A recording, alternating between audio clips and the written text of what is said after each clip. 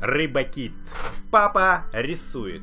Привет, друзья, с вами Ваня, меня зовут Ваня, и я папа вроде бы, да, надо не забыть это все говорить, постоянно, постоянно повторять. Сегодня я буду рисовать восьминога, осьминога или лобстера, хотя нет, лобстер это другое. Смотрите, мой лобстер, вернее осьминог, он будет таким большим, смотрите, вот таким. Такая у него голова будет большая. Такой круг я рисую. У него два глаза будут. Такие два глаза. И они такие смотрят. Ди-ди-дин, ди-ди-дин. И он улыбается. Вот такой. А теперь я ему буду рисовать 8 ног. И это очень трудная задача даже для профессионального художника, который умеет рисовать. Одна нога. Вторая нога. Третья нога отсюда выходит и идет вот сюда. А четвертая вот сюда. Итого 4 ноги. Маловато, нужно 8. 8 ног трудно нарисовать. Смотрите, я одну нарисую вот сюда. Вот здесь одна будет. Здесь еще одна. Итого уже 6. Теперь нужно нарисовать седьмую. Вот здесь у меня седьмая нога. А вот здесь будет восьмая. Еще у него такие вот будут пятнышки на голове. А здесь будут маленькие-маленькие пузырики воды, потому что он у меня в воде плавает. Теперь я его раскрашу. А раскрашу я его разноцветным. Сначала я возьму желтый и покрашу ему глазки. Глазки. И вот эти пятнышки, они тоже желтые будут. Желтые пятнышки на нем. Пока все, пока все. А теперь я возьму фиолетовый. Я хочу сделать фиолетового осьминога. Смотрите, он у меня будет яркий, яркий, фиолетовый. Я очень аккуратно раскрашу его фиолетовым. Вот так вот. И его голову тоже всего, как бы, и у него даже тела нету, только, только есть голова и ноги. Можно сказать, головоногий такой. Аккуратненько. Здесь нужно, конечно, раскрашивать очень аккуратненько. Хотя я это делать не очень люблю.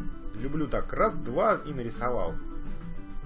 Но иногда стоит немножко поаккуратнее. Вот как сейчас я все это аккуратно раскрашиваю. Вот так вот.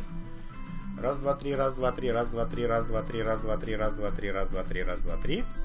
Здесь уже покрасил. Раз, два, три, раз, два, три, раз, два, три, раз, два, три. И здесь. И раз, два, три, раз, два, три, раз, два, три, раз, два, три. И здесь. И вот смотрите, уже у меня фиолетовый получается такой фиолетовый осьминог. Отличный, отличный осьминог получается. Теперь я возьму немножко розового. И его другие лапки, которые снизу видны, я их покрашу розовым. И они у меня будут светлые. Они будут отличаться, смотрите, немножко. Получается 4 ножки так, 4 так. Так. И это даже очень ничего получается. Красиво. Отлично. Эти мы уберем карандаши. И теперь нужно раскрасить его океан рядом с ним. Я его раскрашу зеленым и вот таким вот бирюзовым. Так, бирюзовым, точно, бирюзовые будут. Вот так. И рядом с ним тоже будет бирюзовый океан.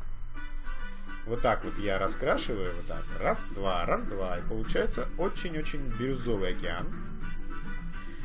Это очень красиво. Мне так нравится немножко голубого.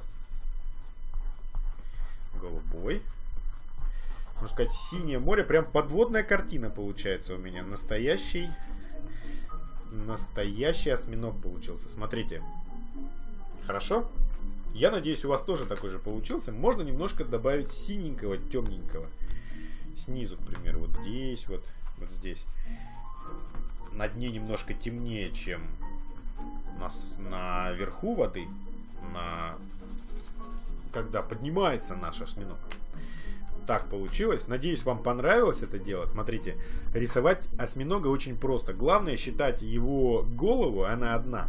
И ноги. Один, два, три, четыре. Один, два, три, четыре. Два глаза и улыбочку.